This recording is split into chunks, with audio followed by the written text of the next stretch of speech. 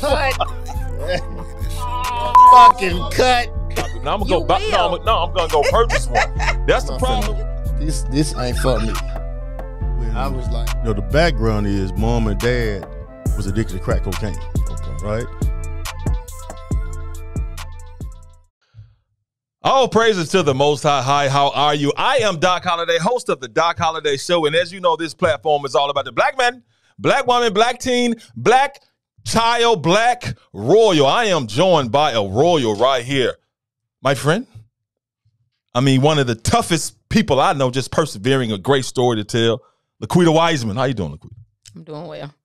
First of all, Laquetta, I mean, I know where you're from. Tell a little, uh, the people a little bit about you.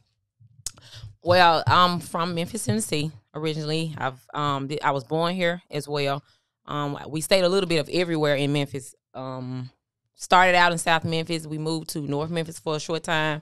Um, we lived in Whitehaven. We lived in East Memphis. Actually, we started out by I was Walter Simmons, the apartments.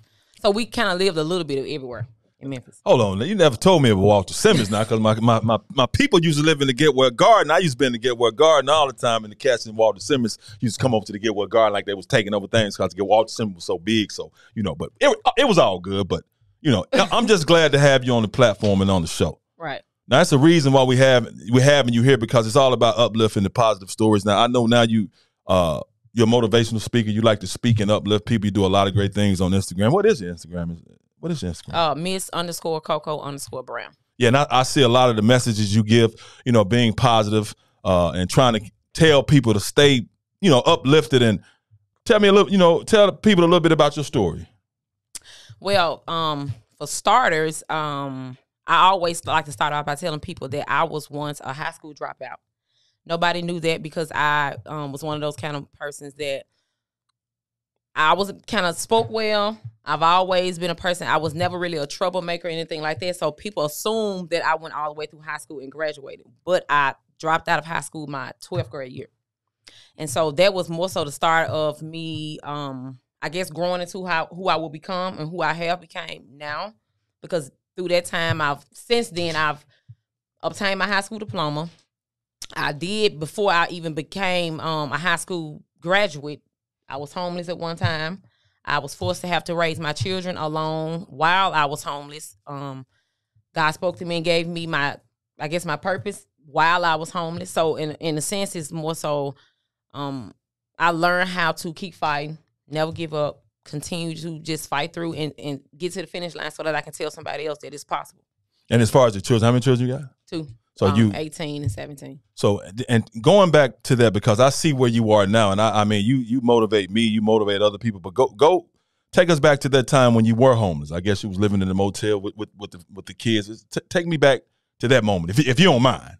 Oh, absolutely. So, um, what happened was I was living in a hotel. Well, I was working a job, and um, I was at this job probably about almost nine years. And I was a manager at a store. And what basically happened is, is that when you're the manager, you all know that once you're the manager, you're responsible for more so everything that happens in this store. So if there is a blow to the store, you have to take it. If you you know take on the responsibility. So what I did, um, the manager came to me one day and was like, there was a shortage, and he didn't know if I had it. He didn't know if the assistant I, that I was working with at the time had it. So I wasn't willing to take the blow by myself. So he basically said, you either going to come up with the money, or we'll have to terminate you. So I pondered on it for about three or four days because I think he came to me like on a Monday. When Friday got there, I said, I'm not gonna pay it by myself. So he was like, Well, we have to terminate you. And I just was like, Okay. So that particular Friday was actually the Friday that I had to pay my uh, rent as well.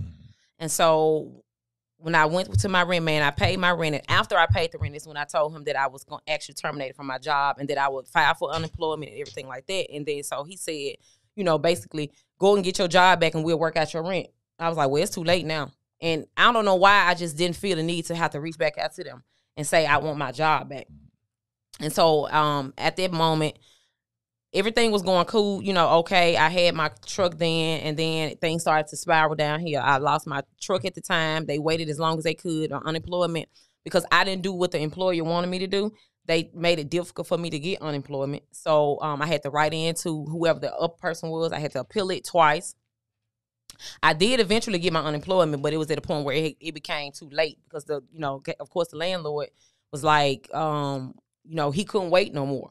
So I understood, but in that process, I lost my car, I lost my place to stay, and the most significant thing about it is that when they first came um to um put my things outside, the the, the landlord sent me a message. He texted me and was like, "We're gonna um we, we'll be there tomorrow for the eviction." So I was reaching out to him, letting him know, like, hey, you know, they declined my unemployment, I have to appeal it. He was patient. And so that particular one particular time he came, he said, Oh, we'll have to, we'll be there tomorrow for the eviction. So I was like, okay. And at the moment, I honestly started praying, like, God, please send me somebody about tomorrow. I need somebody like in the morning. This was a sincere prayer. Mm-hmm. And so when the morning came, my friend mom, she stopped by and she ended up saying, um, I just, you know, I was just stopping by to see how everything was going. And I'm talking to her. And as I was talking to her, she was facing toward me. So she couldn't see the street, but I could. So I told her, I said, This there's my landlord right there. She was like, What you mean? I said, He coming to put my stuff outside. So this was like in uh July, close to August. And she's like, okay. She was like, well, I mean, you don't look sad or nothing. I'm like, I don't even know why I can't cry. I don't, I don't know why I can't cry. So he pulled up, the um sheriff pulled up, the people to change their locks, you know, pulled up. And there was two guys that used to always sit at the end of my street, like um, drinking and stuff. So they pulled up. I thought they were walking past, but they stopped at my house. And so when the sheriff got out the car, he says, um, he asked me my name. He was like Laquetta Miles at the time. And he was like, you know what we here for, right? I was like, yeah. He's like, okay, well, when this process start, you have to actually step off the property. I said, okay. But I didn't tell him that my sister was in the house. So he went in the house. He came back out probably about two or three minutes later. He was like, um, you didn't pack anything. I was like, no. He's like, why didn't you pack? I was like, I don't even know, sir. He's like, well, um, give me a, a couple seconds. So he walked over to the landlord and he called me over there and he said, man, I can't do this. This is what he told the landlord. And it was a younger white guy who owned the property. He's like, I can't do it. He was like, what do you mean? He's like, I can't pull her out. He's like, I don't know why. Just on my heart, I can't put her out. So at that moment, I don't know. I don't know what made him. I've never seen him before, so I don't know what made him. You know, or, or maybe I know God did it, but he was like, I can't put her out. And so my landlord was like, I really don't either. He said, like, man, what do we need to do? Because I don't. I mean, I can't go through with the process. He's like, well, you know, I got all these people here. You know, the the, the uh, locksmith, all these movers. He was like, you know, she's you know lost her job. It's not like she working or nothing like that. So I was like, sir, if you know, if you want to go through the process, it's okay. But as of right now, I don't have any money. You know, um, I'm waiting on unemployment. He's like, well, can you call somebody? I said, well, no, not really. You know, and I said I can call my coworker. I called her. She only had one hundred dollars on her. And at that moment, I knew that God sent my friend's mom over there because she would need to be the transportation to go get the money. So she went to the job. She got the money. She came back, and the and the guy said, "So when you think you'll be able to have some money?" I was like, "Sir, I honestly don't know. You know, because their dad was incarcerated, so it was just us." Mm-hmm. And so he was like, "Well, I want to work with you." He said, "If you can be honest and tell me when you could come up with something, or and stick with you know stick to your word, I'll work with you." I was like, "I'm being honest. I don't know when I'll get the money, you know." Mm-hmm. And so anyway, he left with a hundred dollars. I was more a hundred dollars more in the hole. I don't know who he paid or what he paid to the people that came, but at that moment, I knew. I said, "You know what? I that's what made me stop asking God for money." It was basically like I'm asking Him for money, and God sent me a person, and everything that they came to do, they didn't do. And so, of, of course, when time as time went on, I was still applying for unemployment, and I got it um, finally in October. And he sent me another text the night before. At, the, at this time, I had the money, so I wasn't worried. So when he pulled up, I was like, "Well, I got you know the money. I only I only had, um, I think it was like seventeen hundred dollar back pay they had to give me." And he refused it. He was like, "I can't take it." He's like, "I can't take it. You know, you you're not working, so I don't want to go through this problem again. Somebody else can be renting here. You know, I still pay a mortgage." And again, I said, "Okay, I understand. I appreciate you for even letting me uh, live here this long." I had a friend and pulled up out the blue just was checking on me. And it, it sounds too good to be true, but it went just like this. There's I live three doors from the school. So when she pulled up, she said, you know, she was checking on me. She was like, what's going on? I was like, well, the people here that, you know, put my stuff outside, literally before they put one bag outside, I had ran to the U-Haul place right there on Getwell because it was a budget, like a uh, auto sales, I mean, budget place. They also had trucks too.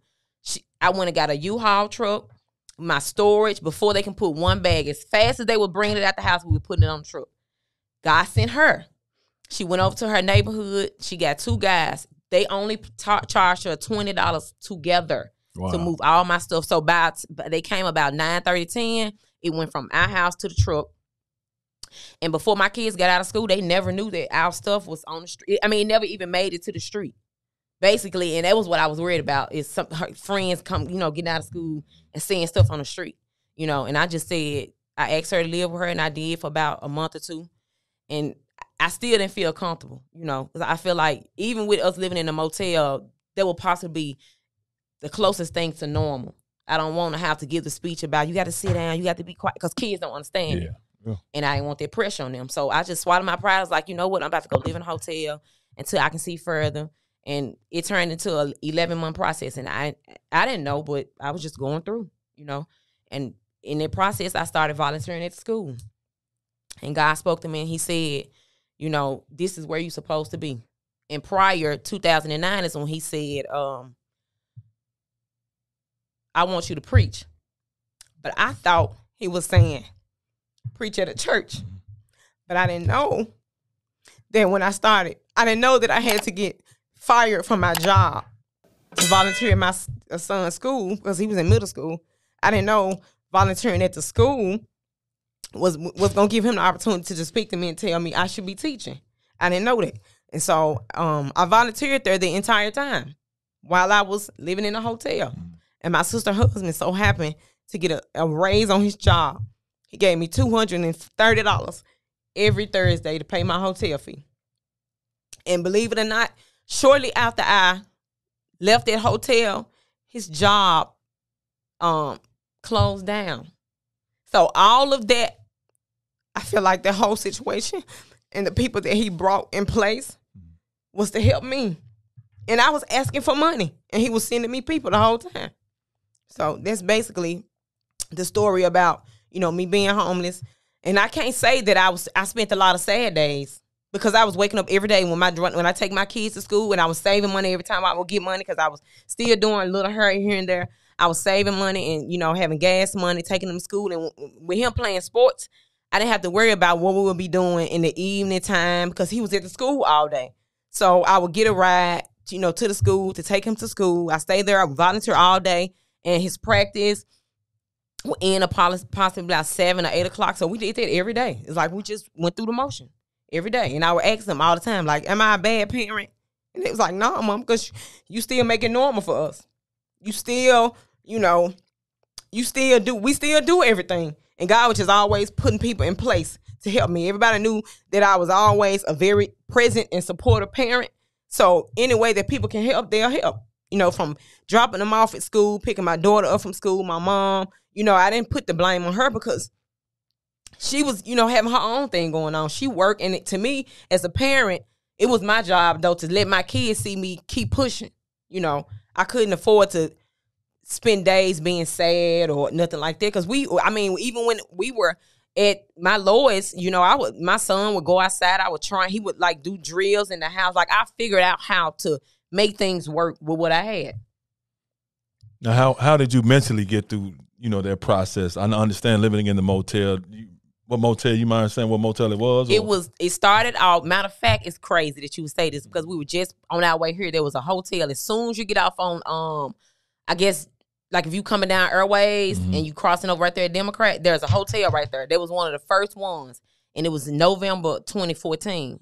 And um, I I stayed in there for a couple days, and then of course I went to live with some friends. Um, and then I ended up going to the school next door to Amer- the hotel next to American Way and that was probably probably the toughest one because I knew my son was at this school, and I was afraid that people would see him. But we mm-hmm. figured out like, I, and I said this before I had kids. Like I, I hope I have kids that we understand each other, and God made it that way because when he when we lived at that hotel next door, we figured out a plan to for him to get up early enough to go outside of the hotel where people wouldn't see him walking. So they didn't know that he was in the hotel. They thought he was walking to school with the rest of the kids. And it lasted for a couple days. I cried when I paid, but um and on the mental part of it, I just kept saying, God, don't let me lose my mind in the process. Like keep making me strong, you know. Don't let me lose my mind. I don't want to feel like I didn't I was probably that's the first time I had peace.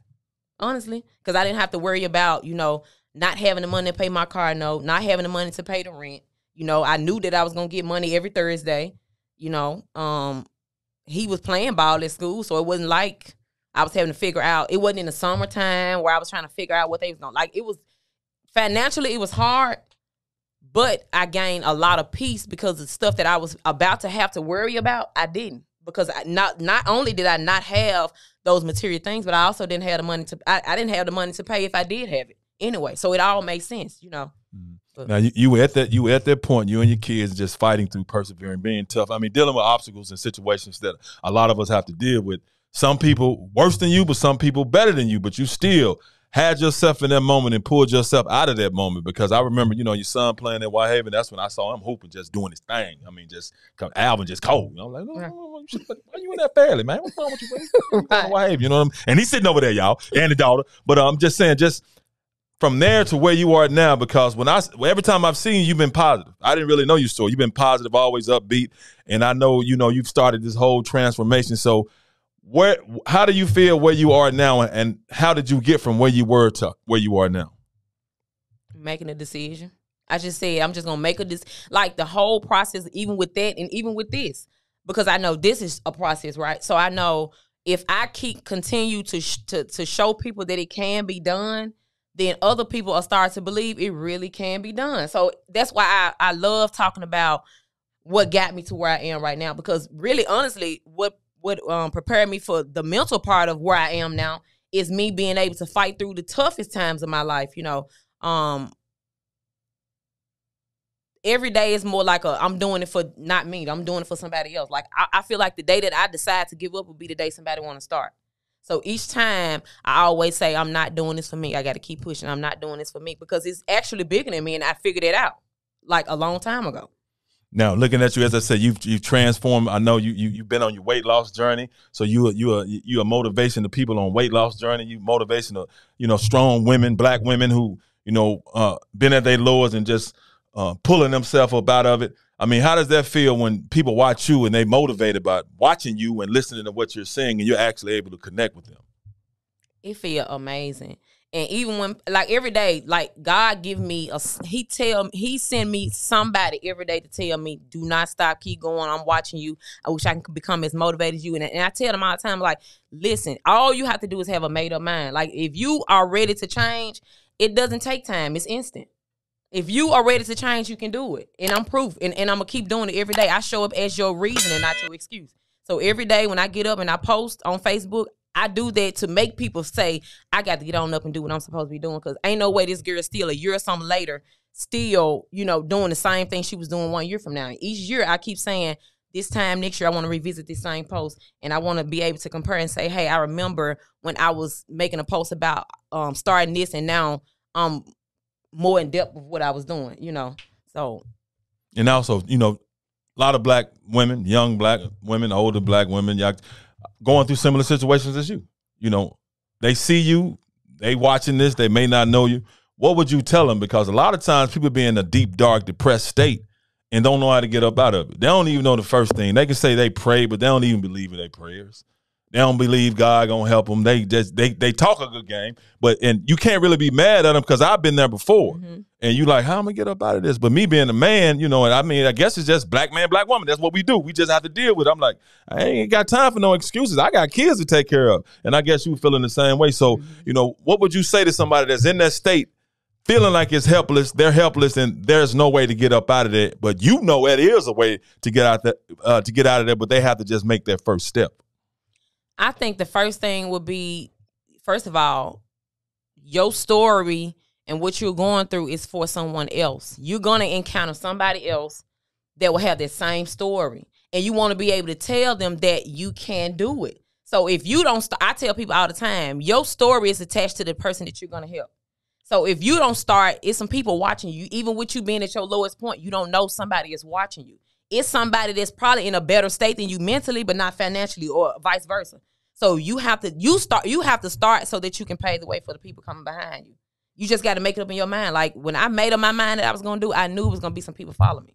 Now, how how I mean, how I I know how good it is, but just to have some children, some young royals who are understanding, who love you, who support you, who's not judgmental. Because that's you know that's that's that's huge. Because I was you know I got four kids. I got I got three and majority of, a, lot of my adult life when I moved back to Memphis, we had to live in Feronia Square townhomes. Like it's a nice place, but it ain't how I envisioned. You know, losing all my NFL money and trying to you know send one to college and doing all those things and you know, they never made me feel bad about us living on there. Now, Feronia Square, what what camera we on, Cass? I, I love Feronia Square. I appreciate y'all. It's a great place. But I'm just saying, I just didn't envision raising my kids there. But I know my oldest, you know, just did. They didn't, ex, you know, it, it was kind of hard on me. So I know people seeing you and you're fighting through that and going through that. Where are you now in the process of your life? Because we talked about what you've been through, but exactly where are you right now? Where is Laquetta right now? Uh, I'm actually I launched my business. Um, it's called Let Me Tell You Something. God gave me that name, and and, and honestly, when God created you or He create us, what you're supposed to be doing is already on the inside of you anyway. So when, when he gave me that name, let me tell you something. I said, that's why he made me so talkative. like I hated I was a talkative person, yeah. but I've always loved people who can speak well. I've always liked talking to intelligent people. English was always my, always my favorite subject, and I was always a detailed person. So it made sense. So now I'm um basically putting myself in position to be on platforms to like speak, encourage people. Um, I'm about to start reaching out to like the homeless shelters, going in, talking to those people, letting them know like, listen, this is not the end. You know, if you can push through this, it has to be a better side, and it is a better side. So that's basically what I'm doing, just you know, reaching out, trying to make myself available for um, platforms. And my motto is always, you know, you create the platform, I can capture the people because I, I believe I have enough story to tell people that if you start, keep the end. I mean, when you start, start with the end in mind. So if you stop in the beginning or you stop in the middle, you'll never see what the end look like. Now, have you have you have you stopped letting people kind of dictate your philanthropy? Because I know at one point you was giving food out at the homeless shelter, and people always got something to got things say. You know what I'm saying? It's the damn mouth, man you know, you giving out, they like, what you showing everybody for? I mean, have you stopped listening to them detractors and just doing you and what the Most High is using you to do? Because people gonna always have something to say. Right. And you know what? That was possibly, and I'm glad I got it in the beginning. Because in the beginning, I was like, well, maybe, you know, um, maybe I'm doing too much, or I don't want people, you know, I don't want people to think I'm doing it for the publicity or somebody to look and be like, she's just trying to say she. I, I will. I show people what I do because I want people to know. Like, listen, it's some really good people out here, mm-hmm. and it's some really good people out here that don't mind doing for other people. So absolutely, I stop listening to people. All I say is, you know what, you you'll be asking me, you'll stop asking me why, you'll be asking me how in a minute. I'm just keep, I'm just gonna keep going. I'm just gonna keep going. It's either you're gonna delete me or you're gonna be inspired and ask me how I do it. Yeah, mind your business. Just do what she's doing. Uh, help the people. If you don't, if you don't want to do it, shut up. Log off. Because if you say something to me, I'm yeah, you know what it is. But we love each other. Black man, black woman, black team, black child. Now, right now, Laquetta, Miss Wiseman, when you look in the mirror and you see yourself, what do you say to yourself, or what would you say to yourself? Keep pushing. Like a lot of times, I look at myself. Sometimes, even with me being with me every day, sometimes I will cry. I'm like, I can't believe I spent so many years trying to figure out what to do, and I'm doing what I used to dream of doing one day, and that's just basically waking up, doing what I'm supposed to be doing. You know, setting the example for not only my young people, but the other people that's older, younger, you know, boy, girl, however. I just can't believe right now at this moment, even with me being with me every day, like I can't believe I'm doing it. And so every day it kind of gas me every day, like you know what, I got to figure out something else to do to kind of, you know, put a little spin on it every day. And also, your I mean, your children, your young girl is extremely talented, and you said your daughter, she you know she does pop up shops. She, y'all just y'all just entrepreneurs around this joint, right? right. How about making that money? I mean, just talk about how proud they make you. Really, it it makes me really proud, and I always we it's like we gas each other, like you know, Alvin with his basketball, and my daughter, you know, Nate with her um doing she do bangles, she do um cheer. Where can they find the bangles? She oh she just she said she still does pop up shops. She'll do pop up shops, but she also have a, Instagram page which is I am underscore I mean I am underscore bang gal. Okay.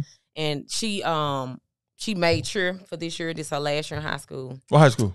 Whitehaven High School. Sadly. no, I'm just joking. Why? My two daughters went to Whitehaven. I'm just joking. I mean, I don't I know. I, I, worked at Fairley when it was the it's, it's the new Fairley. Yeah, that's that's a not Shelby County. Yeah, that's yeah, that's that's exactly. That's green dot. green I don't dot even know what the hell a green dot is. What about red dot? Black dot? Why got to be green? You know what I'm saying? But anyway, I mean, I'm proud of you. Your story is extremely inspiring and motivating. Anything else you want to add, uh, Ms. Wiseman, before, before we get up out of here?